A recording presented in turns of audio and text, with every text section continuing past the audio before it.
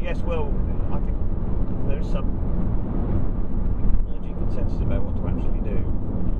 But we need to sit down on a piece of paper and drawing bit some crayons and stuff like that and actually map out the, uh, the diagrams for the combination of areas that we've put up. We were very close last year. It was uh, the, um, indicators, it was within 1% of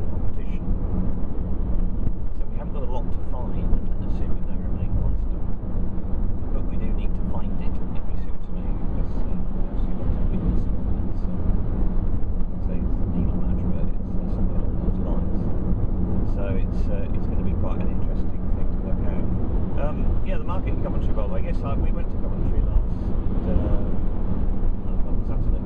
It was there then. Um, I have to say, I you know I wondered why they were bothering to